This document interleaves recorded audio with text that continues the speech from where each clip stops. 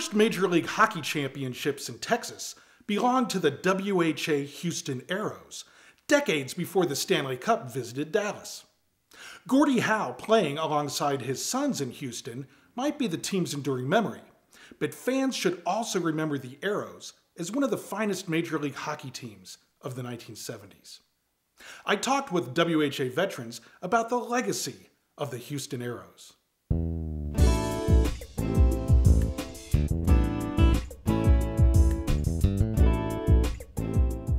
Well, actually, I, I, played in Dallas in the Central Hockey League uh, for two years, so I knew that uh, Texas was, uh, they had some great hockey fans. The uh, first one was won at home, which was the second overall championship in the WHA. It was won at the Sam Houston Coliseum, and, and some of the fans were able to get on the ice and, and chase Teddy Taylor around the ice as, as he skated around with the uh, championship trophy, the Avco World Trophy.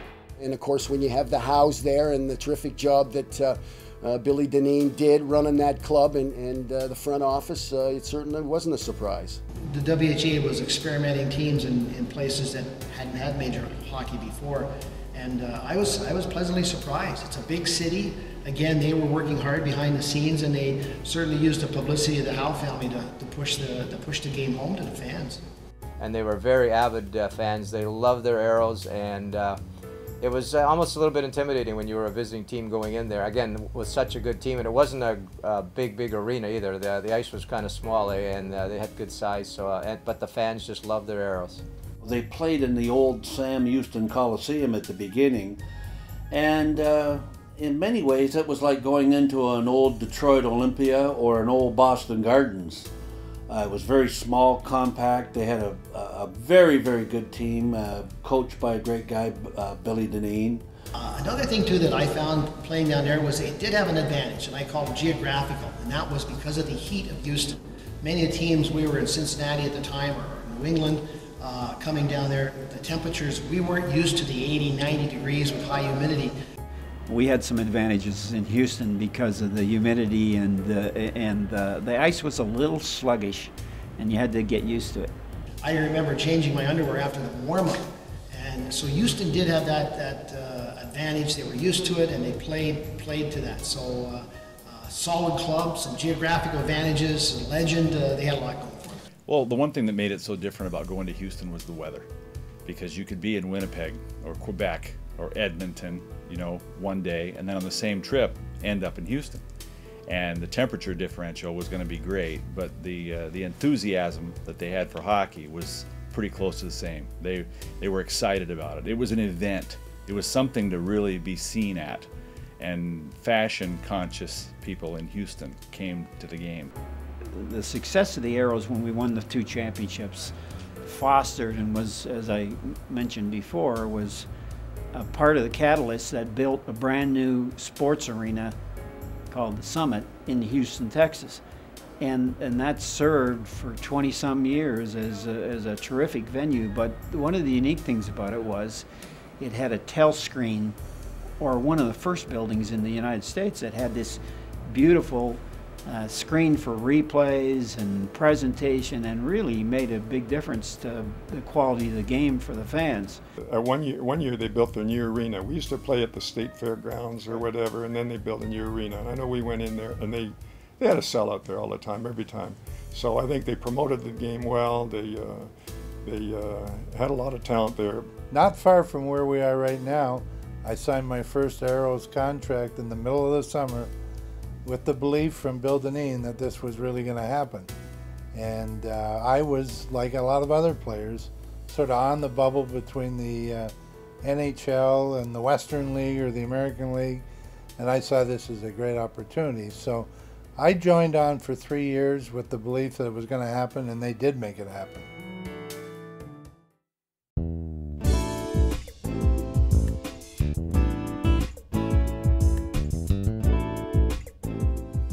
Had a lot of experience with Bill Dineen, and Bill knew the players, uh, you know, both in the minors and in the National League, and perhaps even some borderline players that uh, felt that they needed a new opportunity. And Dineen was a master at finding that quality, hard-working, um, guy that could very well play in the National Hockey League. I would say that I was probably in a better position than most fellows that were putting a club together, and that I did have familiarity with these players that a lot of other people didn't have. Guys like Brian McDonald, Murray Hall, Duke Harris, uh, these are guys that, that I had I played junior with or, or played in minor pro with. So there were a lot of my friends that I'd played with in other, other teams uh, that were coming to this new, new franchise.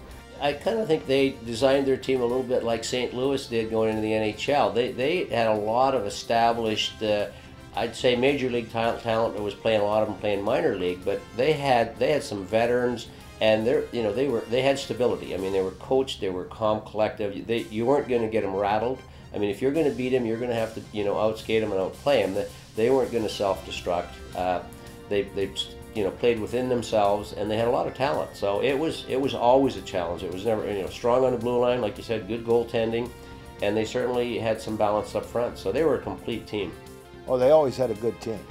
Uh, they always, uh, you know, from what I remember of the WHA, you know, they were always a top-notch team to compete against and always done a good job. And Billy Dineen was their coach. They they had a, a solid club, right from goaltending defense out. To me, the, the difference between someone like a Bill Dineen compared to maybe some other teams is that recognizing and putting a team together where they complement each other and play as a team because a lot of times you can you know assemble the best talent but if you don't play as a team you know you're not going to be successful Dineen would have not three lines but four lines that were as uh, hard work and, and you could put any line out there and it could play against anybody. I mean, and, and I think that, that was an important, um, I think, uh, part of what made the Aeros successful.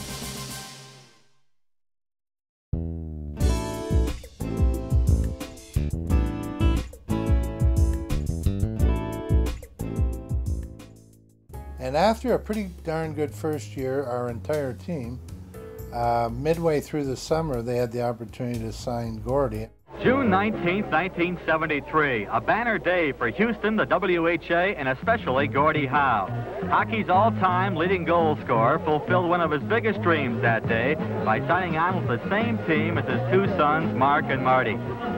Arrow President Jim Smith signed Howe to a four-year contract estimated at $1 million. And so after 25 years in a Detroit uniform, Gordie Howe will now be wearing the number nine of the Houston Aeros. Hey, here's a here's a guy, the greatest player of all time at that at that point for sure, and still probably could be for guys in my area, You know, you, you, you say Gordie was was the greatest, and if you look at his records, pretty pretty good. I mean, it's Gretzky or Gordie. I mean, and, and Gordie was different than Gretzky. Gordie used to do the things that made him famous.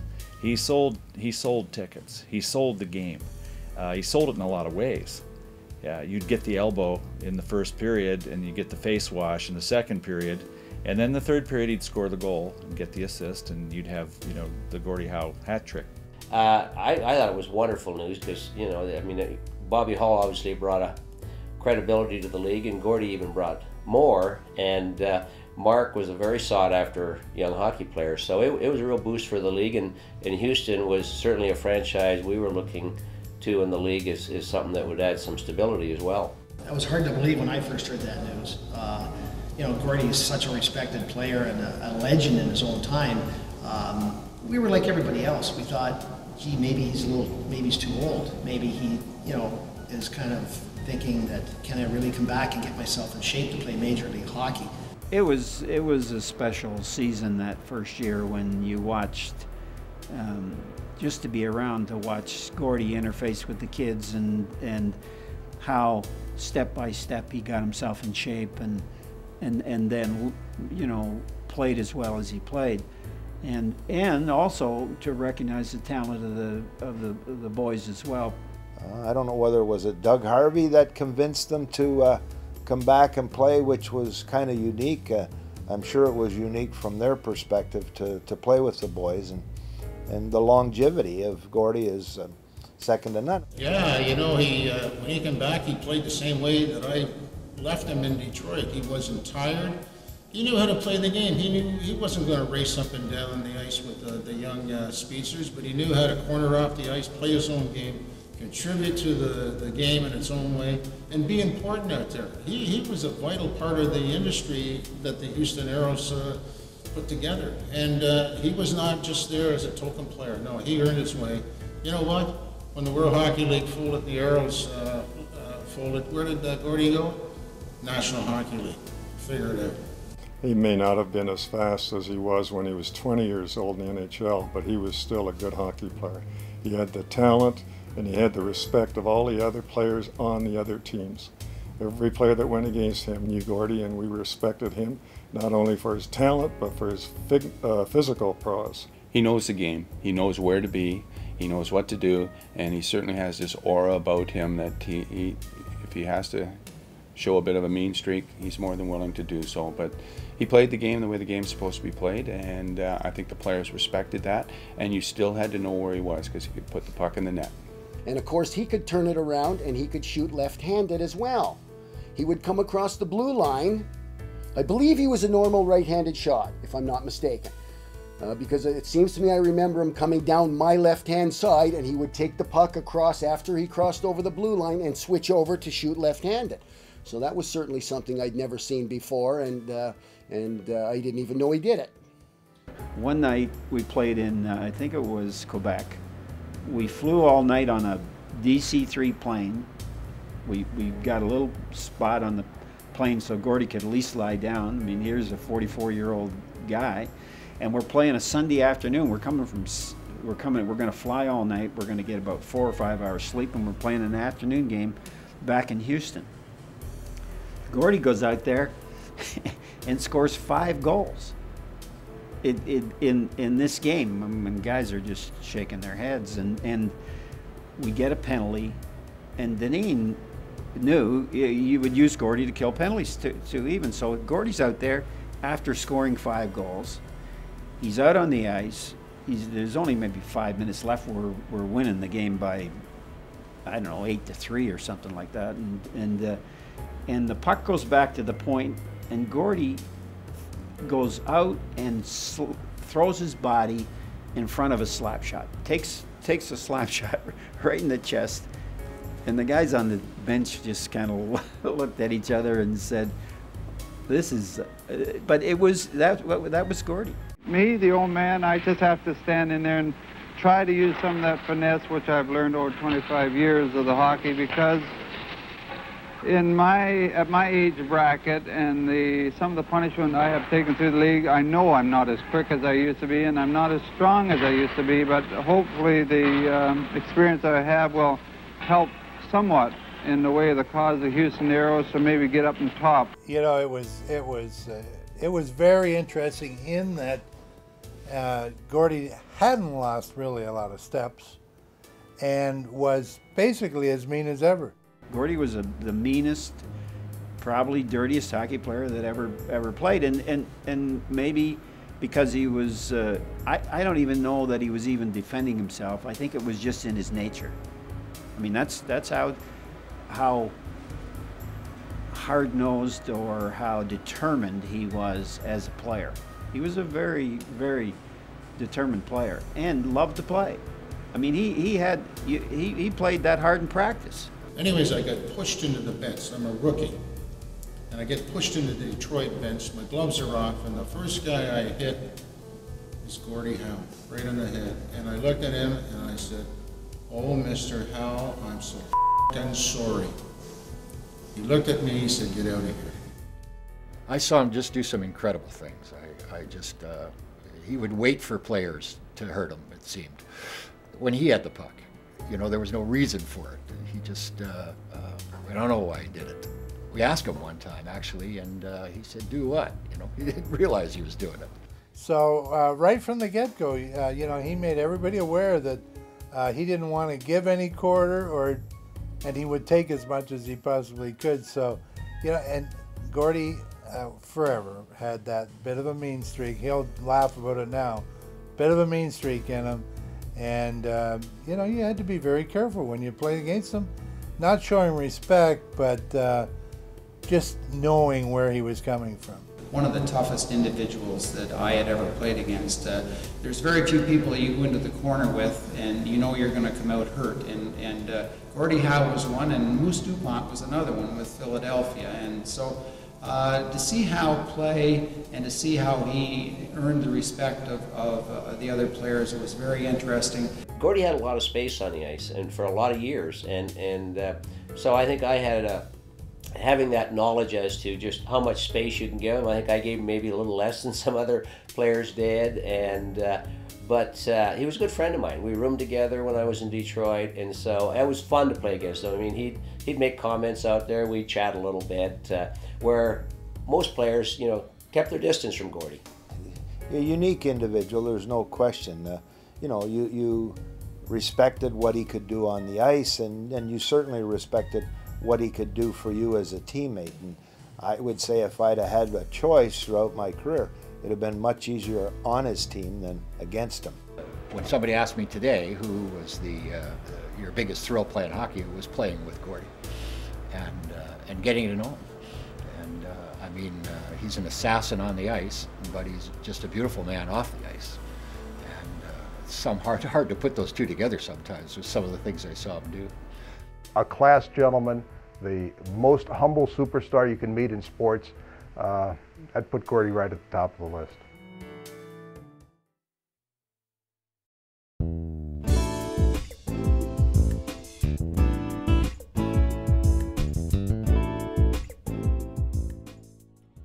And then to see all three Howes skating there, uh, wow, that was that was really something to, to see them all together. It, it had really happened. I'm really looking forward to playing with the old guy here, but uh, no, uh, he's the greatest player in the NHL and uh, should help me out quite a bit if I play with him. So.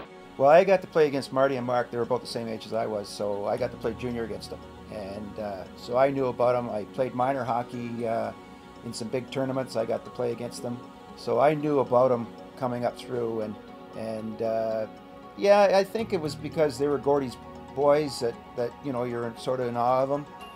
There certainly was a lot of pressure on him. Mark and Marty, uh, later on in my career, I had a chance to play both with them and Gordie, and uh, uh, they're two young, outstanding men. Uh, they had their father there to kind of give them guidance. They also had their mother, Colleen, behind the scenes. She was uh, she was a real force to be reckoned with, with contracts and organizing and keeping the boys focused in the game. So, uh, and, and the other thing too was they were really, really good players. You know, Gordie, you know, Gordie would, I think he loved the game so much. So not only did he want to play with his sons, but when he was on the ice playing, he was playing for Gordie as he has all these years. They were both talented. They, they you know, on their own, they could have played in that league. Uh, I think that with, uh, with, with Gordie there, it gave them a little more confidence, but, uh, you know, Mark certainly went on to have a great hockey career, and, and, and Marty, you know, uh, played a long uh, time also, and, and uh, I think just having their dad there in the beginning was a good stepping stone, but they were, they, they stood alone they weren't there just because of Gordie. They were there because of their ability. Uh, they added to uh, the overall uh, success of the Houston team. And certainly for them to be able to sit down and say they're playing with their dad, it, I mean, what that had to be a dream come true for the two of them. Mark was, I think, one of the best, I mean, in skills. I mean, great skater, but he, he had a touch. He could pass the puck really as well. And the unique thing is, the first year he played forward. He was a left winger with his dad on the line. Jimmy Sherritt was the centerman between Mark and, and Gordie. Bill Dineen, and this is the another thing about Dineen that, that really, Bill knew he could watch players. Bill made the move and put Mark back, and if you look at his Mark's NHL career, he was a defenseman. I mean, here's a, a young kid that had great passing skills, great sense of uh, the ice and everything, and Bill put him back on defense. He made him a Bobby Orr in effect. And and if you look at uh, Mark's uh, record, I think it shows that that was an amazing, pretty uh, shrewd uh, move by Dineen. And they were a breath of uh, fresh freshness in the World Hockey League. They, they, they were what the World Hockey League needed, and they made the Aeros the class of the league. There was a game against the Winnipeg Jets, uh, uh, a game where the Aeros trailed three to nothing. Uh, going into the third period. Gordie Howe was ejected by the referee, Ron Asselstine, for making contact with him. Asselstine actually left the ice, went to the, he was so upset by having a confrontation with Gordie Howe, was getting out of his gear, heading for the shower. He was quitting, it was all over. He had to be coaxed by Bill Dineen, the Aeros coach, and the other coach for the Winnipeg Jets at the time, to come back and finish the game. Gordie was a presence. Uh, even in the playoffs, uh, that year uh, he was in the top 10 in scoring in the playoffs. Uh, very protective of his sons, I might add. Uh, you didn't want to get too close to them when Gordie was around. But uh, he handled the puck. He, he, he, just, uh, again, he was a presence, and the way he uh, created uh, and saw the ice and that, I mean, you can't teach that. And no, he was still a player. He, he did quite well for Houston that year. I don't think I ever met a fella that had as determination as he did. Like when Wayne Gretzky was breaking all his records, I used to kind of chuckle watching on the TV that here Gordie Howe was shaking his hand for breaking his records, but inside he was going to tear him apart because that's how he played. In those days, even in those days in the WHA, you don't touch Gordie or any of the Sons because he'd come right in there and he wasn't afraid to battle. I saw one of my teammates, Jim Niekamp, uh, actually saved uh, another player on our team, Mike Stevens' life, because Mike Stevens had a hip check, a very good one actually, and he took out Mark. And Gordie was coming and, and would have killed him if Jim hadn't body blocked. And then Jim immediately jumped over the boards. On one occasion, Mark came out of the zone and flipped the pass up ahead to his father, Gordie Howe. And Gordie made a move and went to the boards and shook off an attacker, and Mark broke for the open hole up ice. And Gordie got around the guy, and Mark turned and looked back, and he was passing right in front of my broadcast location. And real quickly, the play developed, and suddenly there he was in the hole wanting the puck. And he turned and he said, Dad, it, it was a moment I'll never forget to be able to, to hear that. I felt that that was something very special. I think it would be a special challenge for anybody who carried that name, the, the one thing that they did carry. But uh, from my observation, they were, you know, wonderful people, really great people. They really, um, they really respected their name and they lived up to that respect.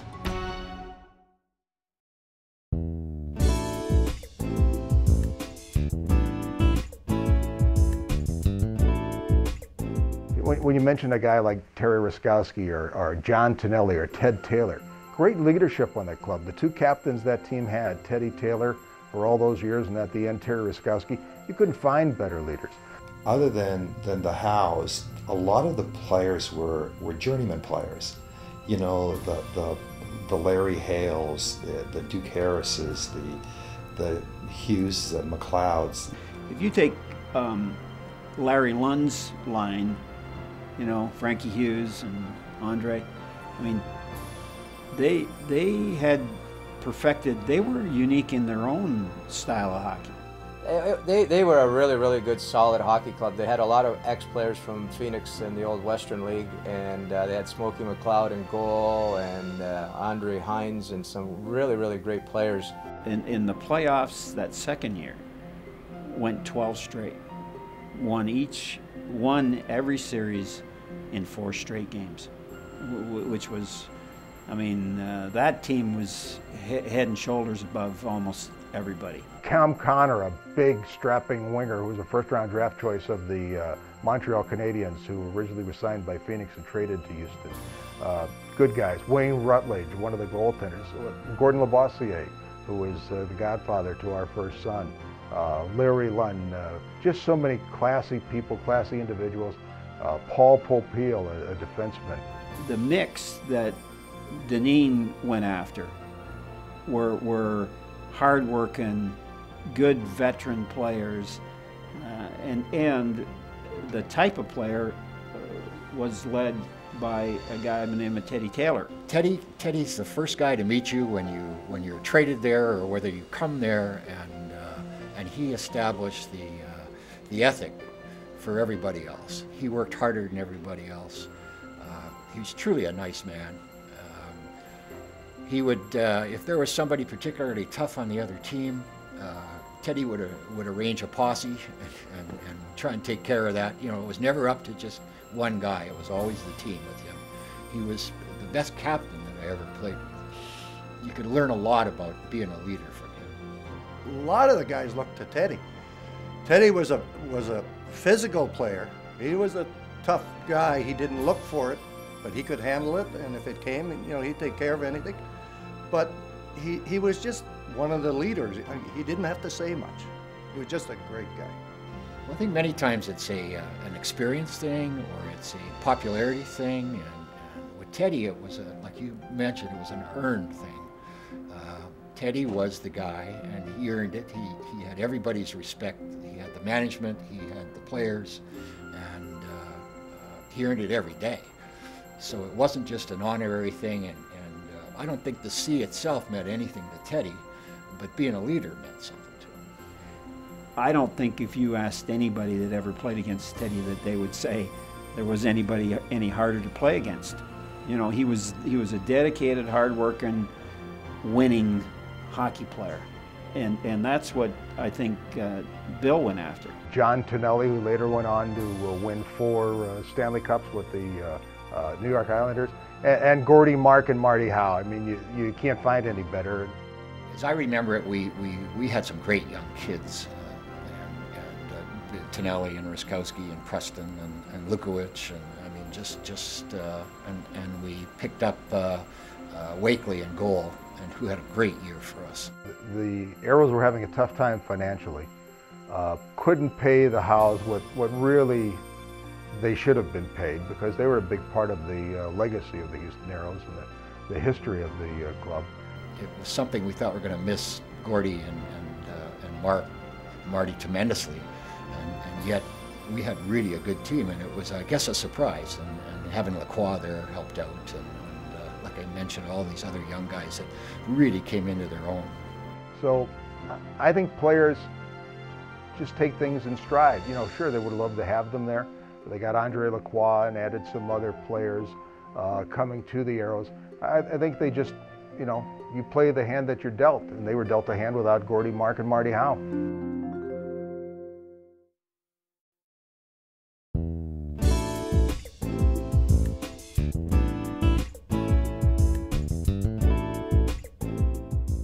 Six years of playoffs, four first places, and two Avco championships prove the Houston Aeros are ready to join the National Hockey League. I actually got a, a, a telegram or an aerogram uh, saying that uh, we were going to merge with Colorado and uh, that we were going in the NHL. And uh, another fellow, a friend of mine, John Gray, and I would have been the oldest guys on the team at 27. And there was all kinds of talent. And said, this is just going to be fantastic. The franchise in Colorado in the uh, NHL, Schnitzer thought he had that franchise coming down to Houston, but the owner in uh, Colorado wanted Houston to buy the franchise. They said, no, no, you just rent the building from us. And uh, a day later, I got the, the next telegram saying that uh, it was all over. Not only we're not going to the NHL, we're, we're, we're folding operations. So he sold it to John McMullen in New Jersey, they became the Jersey Devils, New Jersey Devils. They could have been the uh, Houston Aeros. I, I, would say in my career was one of the most disappointing things because I still believe um, that, that uh, Houston is a good candidate to support uh, a, a, solid NHL franchise. I mean, if, if, Dallas can do it, certainly Houston's a bigger city. Um, Houston does well with the, the minor league Aeros now. Houston, Houston supported us, and, and they certainly would have supported an NHL team, I think. The people there were dedicated. They worked hard. They, they loved the Aeros. The uh, receptionist for a while was a, a very wealthy Houstonian, a, a, lady who loved hockey who just volunteered. So uh, that was kind of, and we all sacrificed at one time. We sacrificed paychecks to keep the team afloat. You know, Houston had a good team, a good, solid team for, you know, a number of years. And they were always, I would say, the toughest in every area of the game to play against. You know, they had they had the, the toughness about them. They had the finesse. They had Gordie and his kids. and I think it was just a fine organization, and they won the Avco Cup, you know, a number of years back to back, and uh, they were outstanding.